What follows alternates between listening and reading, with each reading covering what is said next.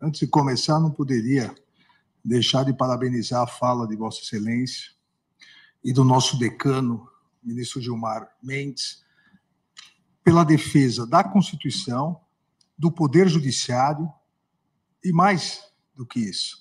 São falas em defesa é, do Estado democrático de direito.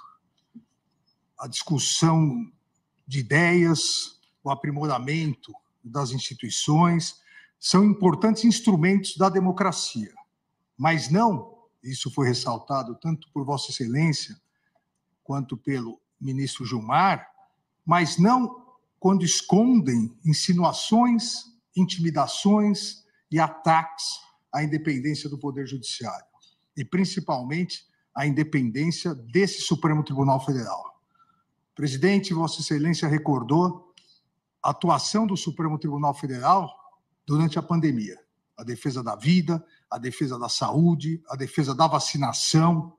Várias decisões urgentes durante a pandemia foram dadas por medidas liminares dos relatores.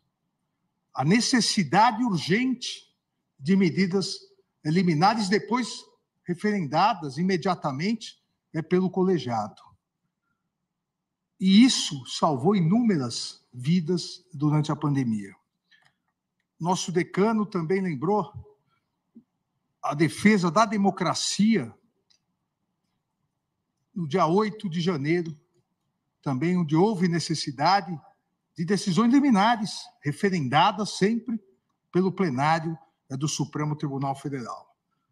E, presidente, também não poderia deixar de concordar com o nosso decano de que essa corte não se compõe de covardes nem de medrosos.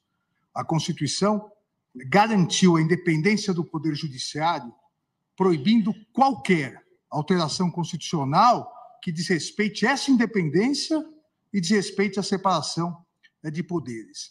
E tenho absoluta certeza que essa corte, sob a presidência de Vossa Excelência, demonstrará coragem na defesa dessa principal garantia do Poder Judiciário, não em favor do Supremo Tribunal Federal ou em favor eh, dos juízes e juízas, mas a principal garantia do Poder Judiciário em defesa da sociedade, de todos os brasileiros, de todas as brasileiras, que é a independência de seus juízes.